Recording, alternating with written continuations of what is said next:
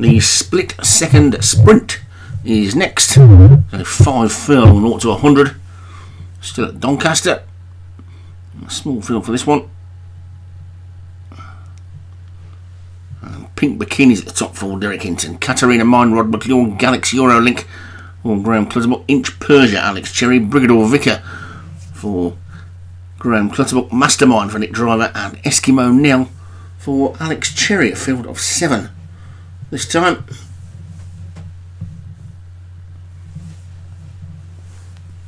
And away they go in the split second handicap. Well, split second's gone already and they're still racing. And it's Inch Persia who's in the lead from Eskimo Nell Galax.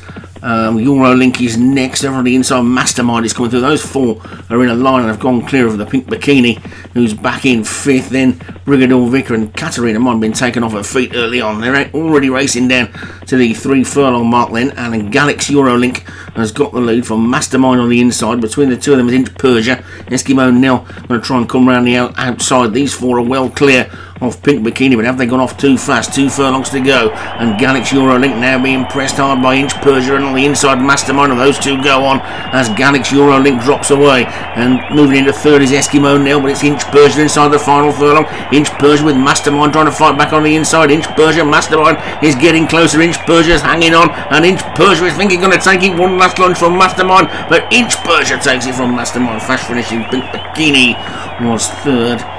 Galaxy Eurolink dropped right out and ended up last. And it's a 1-4, I think, for Alex Cherry. As Inch Persia takes it, Mastermind second for Nick Driver, Pink Bikini third for Derek Hinton, Eskimo Nell was fourth for Alex Cherry, and Katarina Mind was fifth for Rod McClure.